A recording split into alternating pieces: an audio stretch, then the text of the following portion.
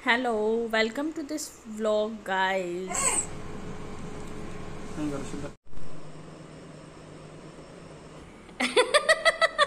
ਕਹਿੰਦੇ ਪਹਿਲਾਂ ਸਾਡਾ ਟਾਬਾ ਹੀ ਹੈਗਾ गाइस आज मैं बनाने लगी हूँ बैंगन का भरता तीनों गैसों पर मैंने रख दिया है बैंगन भुनने के लिए। आ, मैं बनाती थी पहले दूसरा दूसरी तरह से मतलब बिना भुने हुए सिंपल बैंगन को तल के बनाती थी। मिस्टर बजाज को वो कम पसंद है। हमें तो वो भी इतना टेस्टी लगता था। गाइस बनता ही बहुत ज़्यादा टेस्टी है। पर मिस्टर बजाज को यही वाला सबसे ज़्यादा पसंद है। तो मैंने तो रख दिया आज तीनों तीनों गैसों पर भुनने के लिए रख दिए ये तो बहुत जल्दी भुनने वाले हैं। तो हम काटने लगे तड़का मम्मी तड़का काटने लगे तो फिर बनाते हैं बैंगन का भरथा। मैं ये वाला भरथा फ़र्स्ट टाइम बनाने लगी हूँ ट्राई देखती हूँ कैसे बनता है। मिस्टर बजाज से पूछेंगे कैसे बना। सो so, गाइस यहाँ रख दिया है तेल गरम। यहाँ मिक्स कर है सारे मसाले नमक मिर्च गरम मसाला थोड़ा सा चाट मसाला। ये कट कर लिया है सारा तड़का। पहले लहसन भुनेंगे फिर सारा तड़का भुनेंगे और फिर भुने हुए बैंगन मैश करके इसमें डालेंगे। गाइस यहाँ बनकर रेडी हो गया है बैंगन का भरथा। अब मिस्टर बजाज ही खा के बताएँगे कैसे बनाए। खुशबू बहुत ज़्यादा अच्छी आ रही है। सो so, आज मैं रोटी नहीं बनाऊँगी क्योंकि ये देखिए गाइस क्या हो गया। इसमें ना इतना ज़्यादा कट लग गया। लगा पता है किससे? दिखाती हूँ आपको। शंख की ना ये होती है ना ये वाली दिखाती हूँ आपको। ये थी ये। इसमें कूड़ा चला गया, मैंने ऐसे पकड़ा, ऐसे। ये गिल्ले थे मेरे हाथ। तिलस गई। ये बस, इसके तिलसने से ही सारा मेरा कट लग गया। यहाँ पर इतना बड़ा कट लग गया, खून ही नहीं रुका। तो मिस्टर बजाज ने लगा दिया टेप। अब मेरे से रोटी नहीं बेली जाएगी, मुझे लगता। तो मिस्टर बजाज कहते हैं, मैं बेल देता हूँ, तू सेक देना। तो आटा गूंदने लगी हूँ, एक हाथ से गूंद दूँगी वो तो। बेलने में दिक्कत आ रही है, क्योंकि अंगूठा ना मुड़ भी नहीं रहा है ऐसे ज़्यादा। सो इसीलिए आज बनाएँगे मिस्टर बजाज रोटी। दिखाती हूँ आपको मिस्टर बजाज बना रहे हैं रोटी। मैंने आज फ़र्स्ट टाइम मिस्टर बजाज को रोटी बनाते हुए देखा है। मिस्टर बजाज बेलेंगे रोटी मैं सेकूँगी। कितने अच्छे स्टाइल से बेलते हैं देख लो।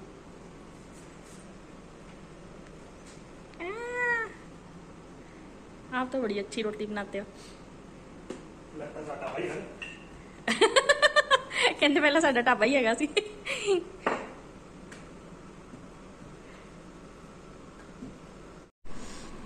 कैसे लगा मिस्टर बजाज भरथा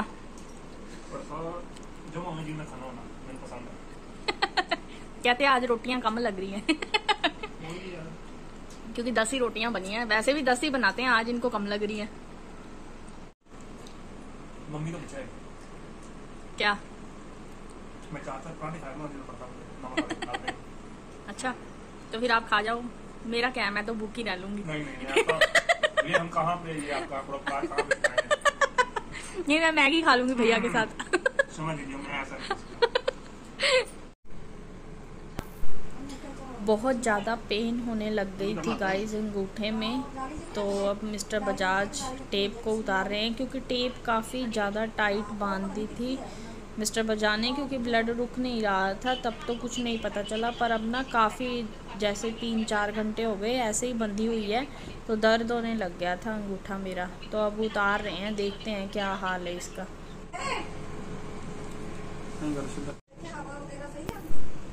अभी भी वैसे की वैसे ही है कट तो बट ब्लड बंद हो गया है। इतना ही शुक्र है। मिस्टर बजाज बना रहे हैं स्प्रिंग रोल। कितनी मेहनत चल रही है ये देखो। मुड़ गया थोड़ा सा। Fold spring roll. कैसे लग रहा है मिस्टर बजाज? हार्ड वर्किंग चल रही है पूरी। ये रहे हैं स्प्रिंग रोल। दोबारा बोलो। खाने भी खुद ने हैं, बोलना भी यही है। हमारे स्प्रिंग रोल हो गए हैं रेडी हम खाएँगे इन तीनों सॉस के साथ। म्योनीस हमारी खत्म है। मिस्टर बजाज ने बनाए आज स्प्रिंग रोल कैसा एक्सपीरियंस रहा मिस्टर बजाज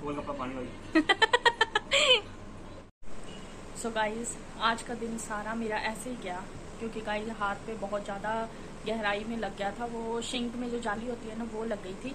और गाइज़ रोज ही साफ़ करती हूँ उसको उठा के पर पता ही नहीं कैसे लग गई समझ से बाहर हो गया। और लगी भी इतनी गहराई से है ना वो बहुत ज़्यादा। शाम को दोबारा ब्लड आने लग गया था उसमें से। कुछ भी मतलब थोड़ा सा भी वेट उठाऊं तो ब्लड आने लग जाता है दोबारा।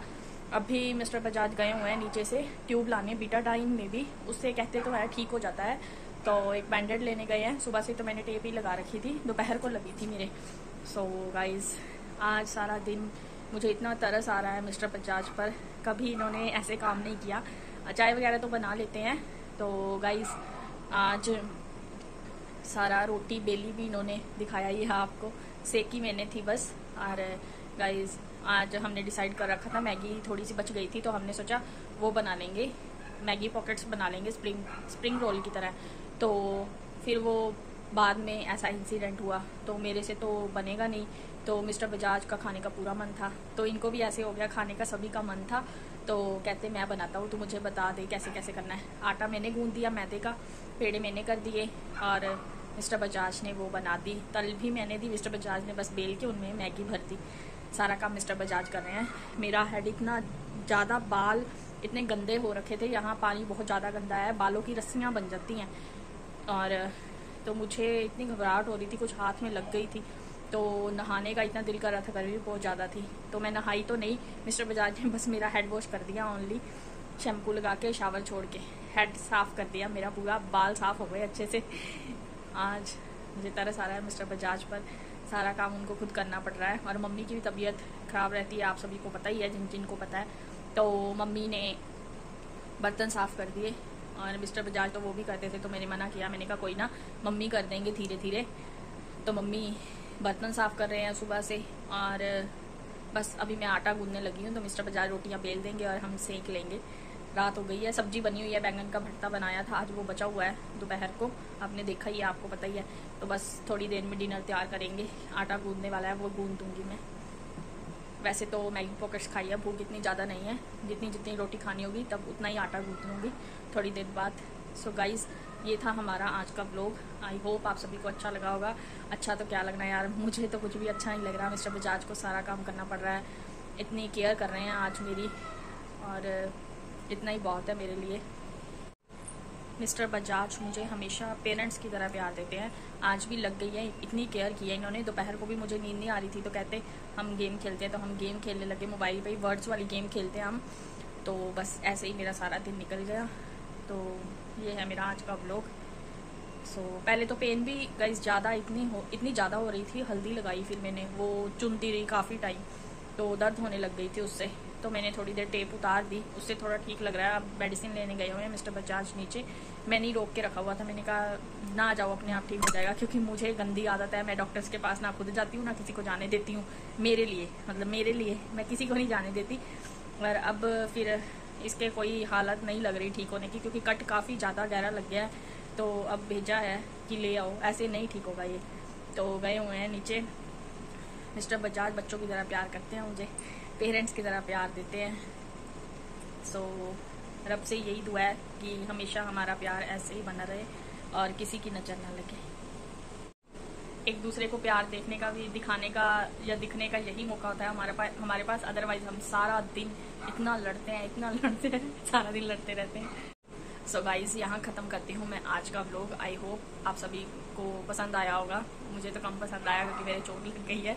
सो so, फिर भी गाइज़ आपका प्यार मिलता रहे। So thank you guys blogs देखने के लिए और अच्छे अच्छे कमेंट करने के लिए। सो so, मिलती हूँ आपसे नेक्स्ट ब्लॉग में। तब तक आप ये ब्लॉग एंजॉय करो। Bye bye take care